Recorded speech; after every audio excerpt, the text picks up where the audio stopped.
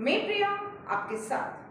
जम्मू कश्मीर की पूर्व सीएम और पीडीपी प्रमुख महबूबा मुफ्ती ने रविवार को बेंगलुरु में ऐलान किया है कि जब तक जम्मू कश्मीर में आर्टिकल 370 बहाल नहीं हो जाता, वे विधानसभा चुनाव नहीं लड़ेगी। लेकिन उनकी पार्टी चुनाव में अपना उम्मीदवार उतारेगी। महबूबा ने बेंगलुरु में पत्रकारों से चर्चा के दौरान कर्नाटक सरकार के शपथ ग्रहण में कई दलों को न बुलाने पर कहा कि कांग्रेस को अभी और त्याग करना होगा, वरना लोगों के पास दूसरे विकल्प भी मौजूद हैं।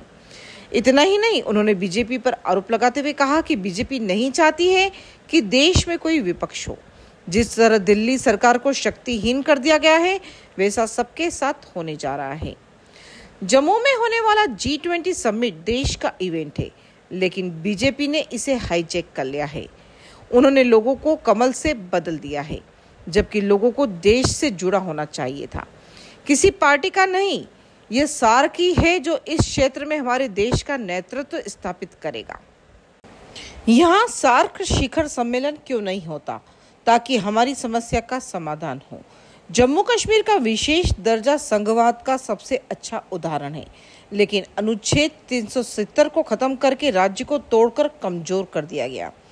चीन अब जम्मू कश्मीर के मामलों में हस्तक्षेप कर रहा है, जो केवल पाकिस्तान करता था।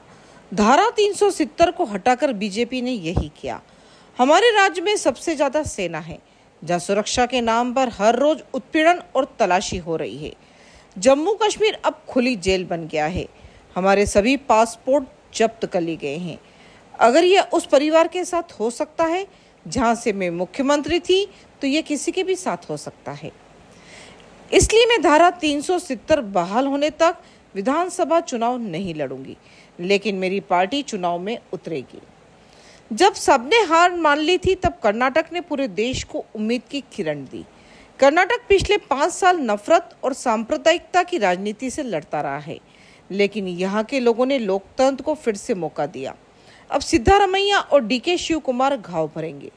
राहुल गांधी की भारत जोड़ो यात्रा ने कर्नाटक में जीत की नींव रखी।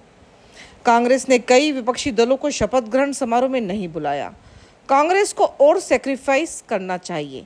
नहीं तो लोगों के पास दूसरे विकल्प भी हैं, क्योंकि भारत के विचारों को ज़िंदा रखने के लिए अन्य दलों की तुलना में कांग्रेस पर सबसे बड़ी ज़िम्मेदारी है।